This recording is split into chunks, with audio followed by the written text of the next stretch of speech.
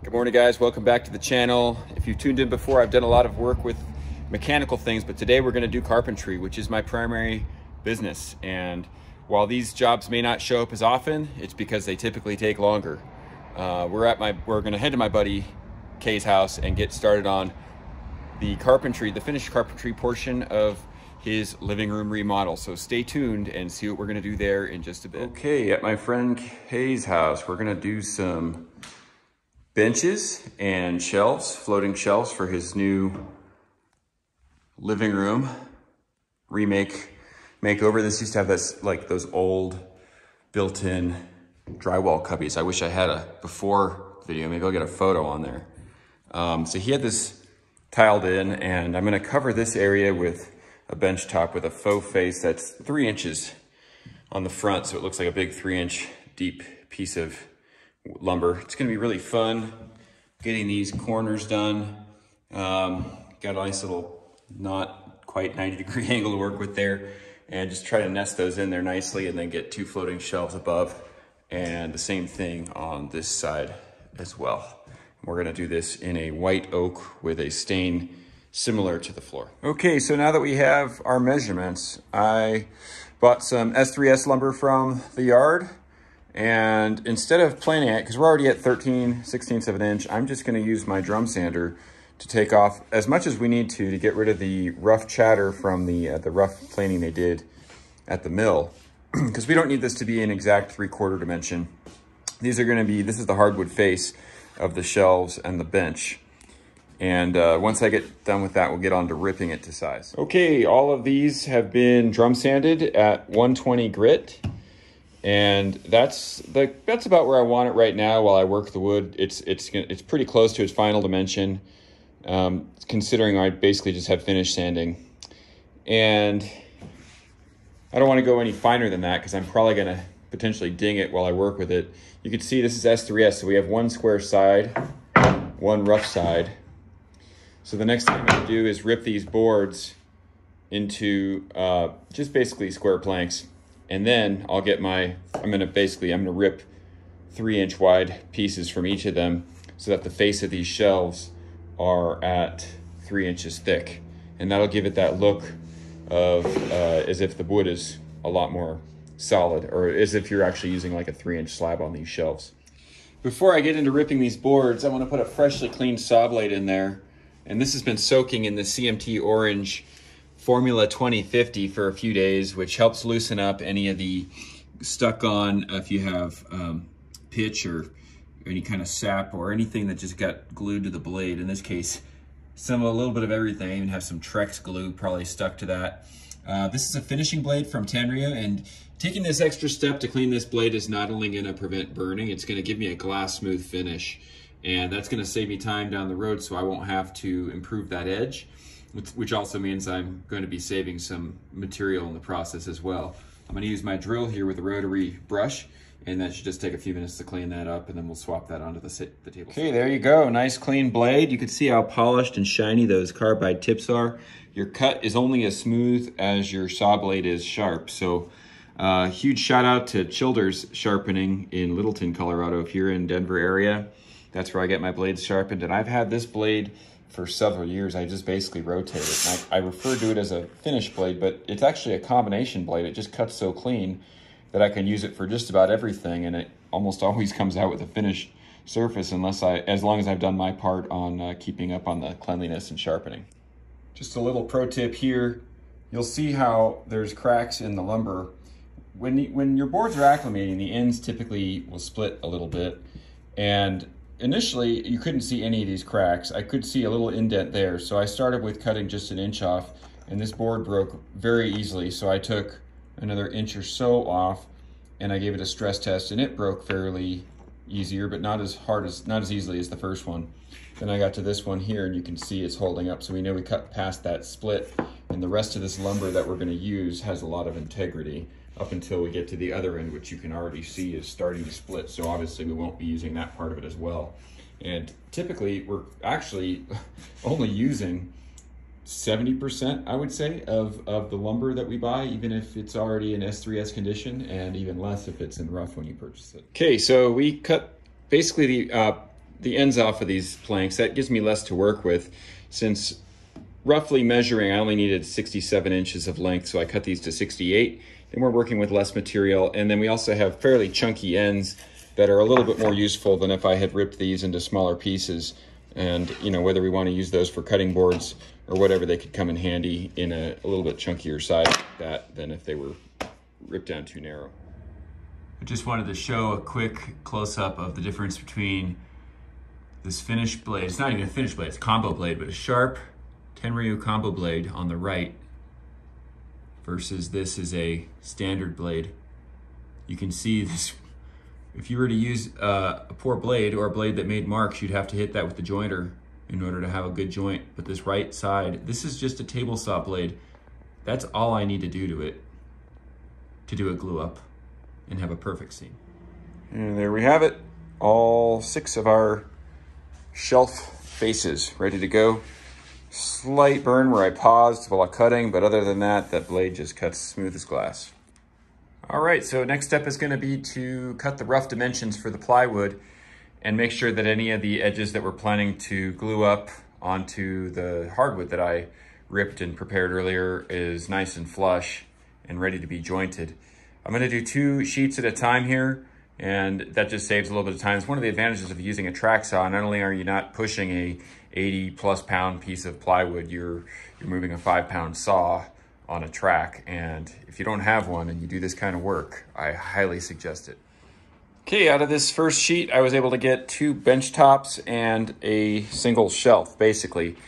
And I'll go ahead and get the others going now for the rest of the remaining shelves. Okay, so I presented all these parts that we're going to be using in the orientation that I'm going to be cutting on them. These are the backs of the two benches and the backs of the shelves. I wanted to make sure that I'm cutting into the not as beautiful side. I don't know if you can tell, but the finish and just the grain on the better side is much nicer, in my opinion. And did the same thing. This, these are the tops of the shelves, and I need to orient that because the way that my tool is offset, it's gonna rest here, cut into that, and it's gonna rest on the back here, cut into that.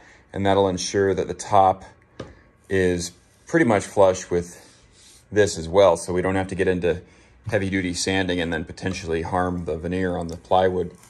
I'm gonna be using my domino with a five mil bit. It's basically gonna cut a mortise joint for these dominoes on the insides. And I don't need to mark anything because Festool has a cool system that basically, once you make your first cut, you can put these stops into the, the cut you just made and it equally spaces all your cuts the whole way down. And I'll come in from one side and then I'll come in from the other side and go the opposite direction until it meets to the middle. Okay, got this mortised, got the dominoes in place. Gonna spread that glue line and get it clamped on and pinned to this bench top here. Okay, I have this all clamped up. Made sure that glue came out of the seam the whole length. And then I pinned two pins per clamp. When you when I mean pin, it's a 21 gauge pin. It's very small. It's like the size of a smaller than a sewing needle. So it's not really visible from the front. You can't really see any any markings, but I can pull these clamps off now and the pins will hold it in place until the glue is fully set.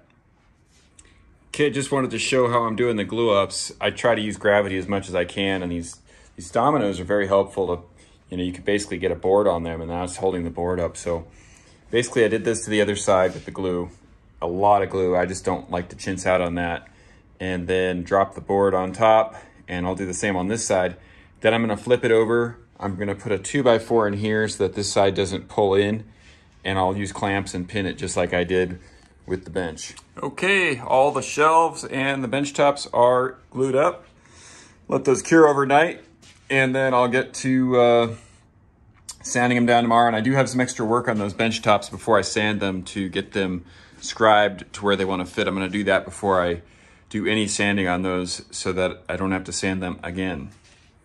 Okay, shelves are all cured overnight, ready to sand. Now, I want to make sure that I mark anywhere that I feel the plywood is potentially slightly higher than the hardwood. And I'm, I did a pretty good job yesterday.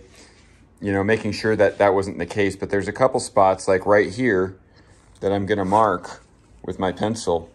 And that's just to basically indicate where I need to be careful with sanding because I don't want to sand through this top veneer. These days, modern hardwoods are only a 64th of an inch thick. That also said, uh, I would typically sand with a more aggressive, like 60 grit to get this glue off.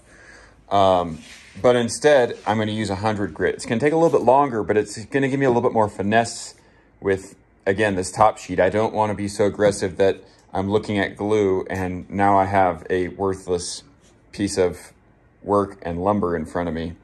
You could go finer than that if you're patient. You could drop, bring it up to a 120 or 150, but it's going to take quite a while to get through this glue. Next thing, I'm going to be spraying with water as I go periodically. I'll basically get through what I think is enough of the glue, and then I'll spray with water, and where the water does not get soaked up, I know that that area needs a little more sanding, and I'll mark that with my pencil as well. And typically, you only want to go sand about as deep as your pencil mark goes before you check again. Otherwise, you might go too deep, and again, ruin that top sheet of your expensive plywood. So we'll see how that looks in a little bit. Okay, I got through that first layer. Let's go ahead and spray it down and see what happens. Looks like it's soaking up water everywhere that I'm spraying, so we're in good shape for our stain. We're not gonna have any weird blotchiness. That's as far as I need to go with the 100 grit, and I won't touch it again with sandpaper until I'm ready to fully raise all the grain and drop that grit down to a 150 or a 220. Very hard to see here is there's a split in the grain. Um, kind of see there's a little crack there. So that what I'm gonna do is take a little bit of glue and run this along here on this end.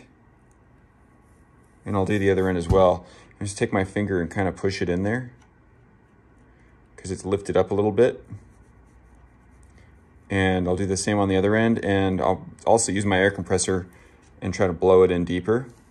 Then take a strip of this tape and put the tape where it's dry, pull the tape over with some tension, and in about an hour that should be set up and ready to sand down and that, that piece of wood will stay in place. We'll never even know that happened.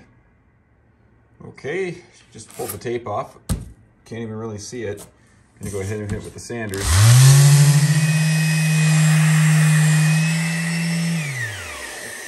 Okay, back at the job site after getting the bench tops and the shelves pre-built in my shop. Now it's time to scribe.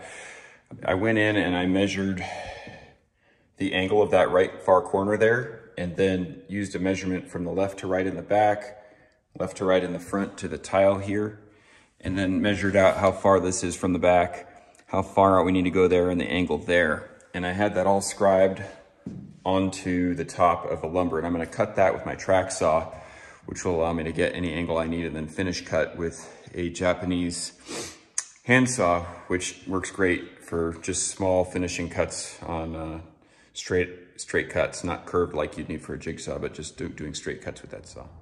All right, I used my track saw to cut this. It's uh, it's not quite a three inch depth on the saw due to the track being in the way, so I'll, I'll hand saw that out. And got the angle cut on the right side, measured over, and basically just laid that track out on my marks to match the side. You can see this angle here is not quite 90 degrees and that's to match that uh, sort of tapered front we have where it's tiled. I'm gonna go ahead, here's the saw I'm using. They call this the razor saw. These things are great and I'm just gonna get it in there and you can put it up against the side and hold it with your hand and you get a nice, it'll follow that initial cut like so. And it's just a really a lot easier and less messy and makes mistakes much slower than a jigsaw would. So gonna get that cut up and then we're gonna go test fit it. Okay, well that fits just about perfect. Pretty happy with that. I am gonna trim some off the end here. And in fact, I need to put a piece of veneer on the edge here to cover the ply. So I'm gonna cut that in probably about a half an inch. And then I'll trim it with a piece of quarter inch just on the inside of this and I'll, I'll cut this piece flush with that. Or maybe what I'll do, I might even just cut the whole thing a half inch and then trim the whole piece like so. But yeah, looking good.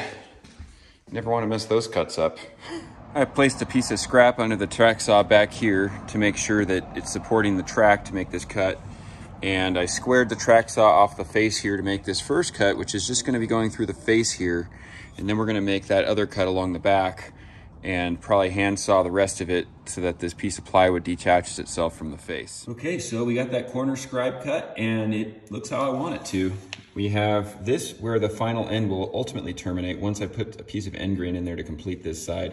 We want a little bit of tile to reveal off the edge. It'll look a little bit more finished than having the wood trying to flush up with that since we don't have a perfectly square profile on there. And after this, we're gonna get on and do the other side, which I won't bore you with since you saw one, but I will show you how I'm gonna mount these shelves that are gonna be up here. We're gonna have one at 48 inches and one at 66. And I'm gonna go ahead and get the cleats on there and get them scribed and cut and test fit and then take them back to the shop to stain. So stay tuned. You're gonna learn some more tricks of the trade. Okay guys, ready to put the cleats in. You can see I've got my parallel lines, they're leveled, coming out the sides on the stone as well.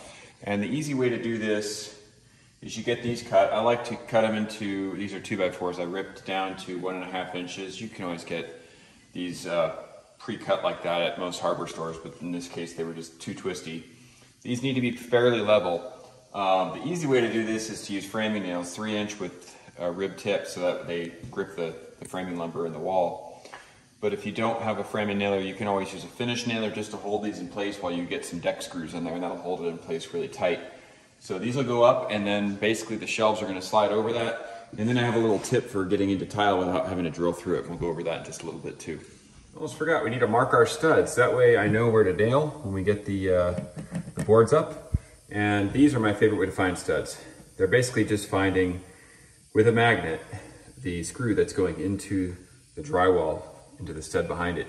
So I'm just gonna go ahead and hit the rest of these and then they'll be marked and they'll go up real quick. Okay, we have the cleats installed. I didn't do the right side yet. I'm gonna do this last. We're gonna get these test fit. There's no sense in trying to finagle over the right side cleat anyway, which obviously I can't do today because the glue is not cured. So I will be able to test fit it with just two sides and get the, um, the shelves cut, pre-cut, and then take them back to the shop. And while those are curing in the shop, I'll have these curing here with the glue that I'm about to show you. All right, first one's in. Looks pretty good. Got three more to go. Okay, so here's a little trick. Rather than getting into the masonry bits and relying on not damaging the tile that just went up, I need to get that in place so it can support this shelf. I'm gonna use the strongest bonding polyurethane adhesive I'm aware of. It's, I think, a 24 hour cure. And this stuff is just unbeatable. It has a nice give to it too, so it's not brittle. And the way that I'm gonna hold that in place while it's setting is with hot glue. So we're gonna get this all heated up. I'm gonna put a small dab of hot glue on either end of this. After I, I guess first I'll put the polyurethane in here, then I'll put a dab of hot, hot glue on either end, and then I'll press it up and hold until that hot glue sets. And that hot glue is gonna hold that in place until the polyurethane is cured, and it'll be rock solid by the time I get that shelf up. Okay, we're back in my shop, and as you can see, there's a marking right here. It says fill, because I made the almost fatal mistake of ruining this piece by cutting it too far in that way. I don't even know how that happened after double checking everything. I went and cut, and that's what I got. So I took some scrap, and I cut this out. Now, I do need to file down the inside of this corner a little bit to make it fit, but I'm gonna do that, and then we're gonna make sure this is flush up here and then this piece is cut to cover this, this end grain here so we don't see that end grain of the plywood. So that'll all get glued and pinned in place. And then when it cures, I'll sand it flush. And I know you can see that grain difference now, but when there's stain on there, I don't think it's really gonna be noticeable. I think it's gonna look great. Reminds me of a time when I was in high school, one of my first projects, and I ran the router bit too high on the first cut and that router bit just chewed right into my piece that I had already spent like all week working on and it, it just devastated me. I thought it was the end, but the, the shop teacher, Mr. Pruitt, if you're watching, uh, I still make that mistake apparently. um, but yeah, Mr. Pruitt's tricks worked. It, it, it, it was, uh, it's easy to fill mistakes when, when you're working with hardwoods. Uh, not exactly fast, but you can, you can repair mistakes and make them almost disappear. All right, there's the glue up. Promise me guys, I mean, I promise you guys it's gonna look a lot better when it's finished. Um, but notice how I overlapped the top of the plywood on both of these and it doesn't matter that that's long. Once it's all dried up, I can sand that down and cut it to where it needs to be. So the glue's all nice and dried up. Just gonna use my Japanese razor saw and flush it up against this edge here and then get it sanded flush gently with 100 grit sandpaper and then move on to the next. All right, sanded up, looks pretty good. Forgot to mention, I also colored this in with pencil so that I had an indicator of when I was getting too aggressive and once I had already basically flushed up. So you can see a little bit of it left there. You don't want to go through all the pencil because then that's a sign that you might be getting into your veneers too much. And then after I did that, I, I rounded the corner off just slightly. I just basically broke the edge all the way around, especially important on plywood while you're working with it. Even if you're not done with it, just break that edge with sandpaper.